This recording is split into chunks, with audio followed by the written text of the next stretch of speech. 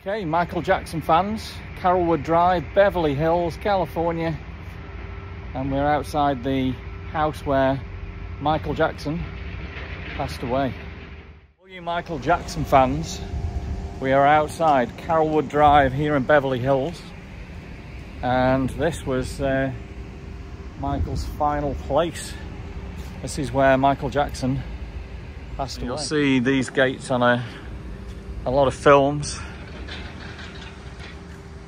and that's where the ambulance went through in these gates right there. So let's take a look at the pictures that day. This was shot by a tour bus as they passed by Michael's house. And the overall view, you can see the home and the police cars outside. It's a massive, beautiful property.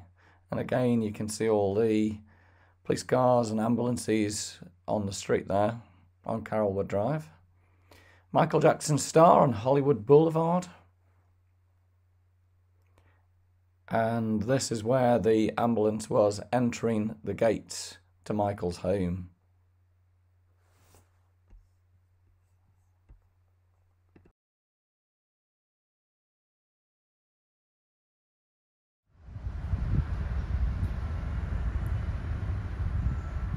There we go can't really see much of the home.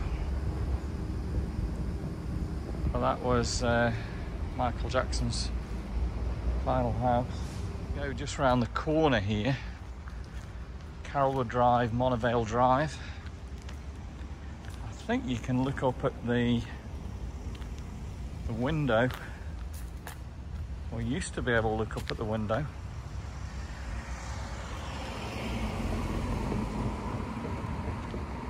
towards uh, Michael Jackson's bedroom. You can't really see it now, watch for the trees. But there we go, that is it. That is the property where Michael Jackson last lived. Heading back up the entrance here, Carolwood Drive.